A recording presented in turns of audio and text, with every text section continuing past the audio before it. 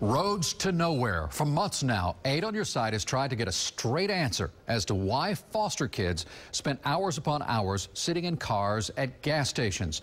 Well, today, DCF Secretary Mike Carroll and a team of experts hit the ground in Tampa to join us to find out why the foster care system is failing.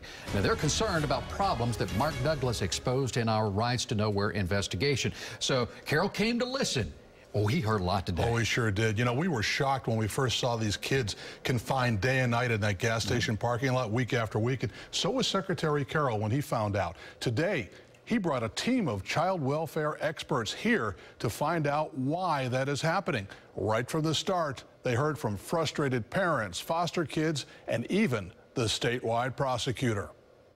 Mr. Carroll, I'm not attacking you at all, sir but it's happening under your watch. DCF Secretary Mike Carroll and his team of experts are digging deep into foster care failures. And everybody's changing employment constantly. It's just a turnover. And it's and I think it's a grave turnover that shouldn't be happening. When you have so many different agencies, contract DCF contracting with somebody who contracts with somebody else, potentially who contracts with somebody else, it's all diluted. And who do we really hold responsible? And this is what got that conversation started. Our stakeout of this Tampa gas station where we watched foster kids held in caseworkers' cars day and night. If Mr. Mark Douglas did not put this out, you would not be here. Eckerd knew it. YFA knew it. They weren't going to say anything. They did not call you, Mr. Carroll, and tell you, hey, boss, we have a problem. We need some help. Eckerd manages Hillsborough foster care for the state, but Eckerd's lawyers insisted we had no legal right to attend last week's board of directors meeting. And they say to these guys, you're not coming into the meeting, despite what the department advises, and despite what the office of the governor advises, somebody should be able to say, bull.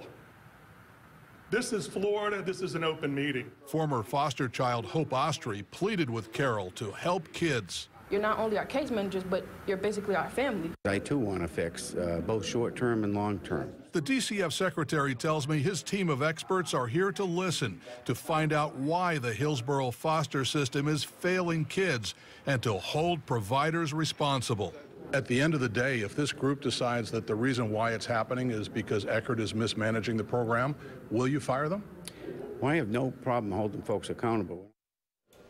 Secretary Carroll expects his blue ribbon team of experts to spend about two weeks gathering information and talking to as many foster care workers, parents, and kids as they can. They're also counting on an inspector general's review and a sheriff's abuse investigation to shed light on why the Hillsborough foster system is failing. Keith. And that's an ongoing process, but is there any indication right now, early on, about what is the problem. Well, Carroll told everybody today that Hillsborough County brings in more kids at a higher rate than anywhere else in Florida. In fact, they have more kids in the system than anywhere, nearly 4,000. They're overwhelmed, and they don't have the funds to go with it. So that's just for starters. Big state, a lot of numbers. Uh, a lot to work out here. Thank you, Mark, yep. for that update.